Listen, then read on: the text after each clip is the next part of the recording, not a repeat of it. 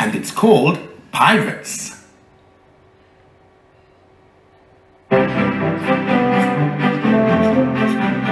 Sniff and Wag are friends. When the day ends and the sky grows dark, they sneak into the park through a hole in the fence. The two dogs are burying a bone one night when they find an old bottle with something inside it.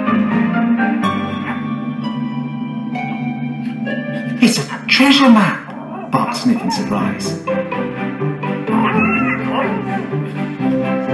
The cross marks the spot where the treasure lies, but it looks wrong because the cross is in the middle of the pond. I bet the loot's buried on the Isle of Coots.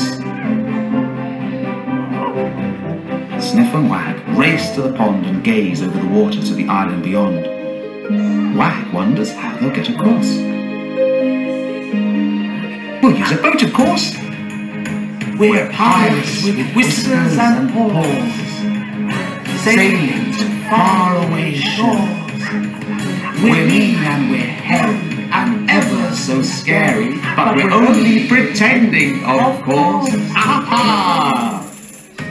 Your boat isn't going very fast, says a goose, gliding past. We're doing our best, Sniff barks.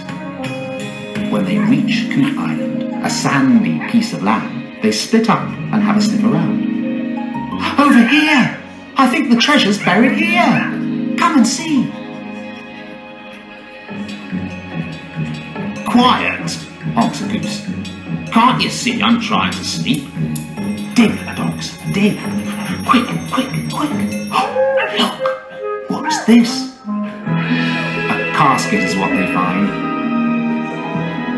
With shiny, moony blue stones inside.